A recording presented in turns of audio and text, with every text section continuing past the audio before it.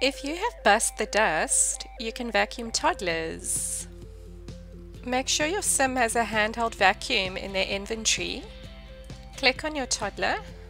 Under the friendly interaction, you'll have the option to clean toddler with vacuum. Sims will receive an inspired moodlet and your toddler's hygiene and fun will increase.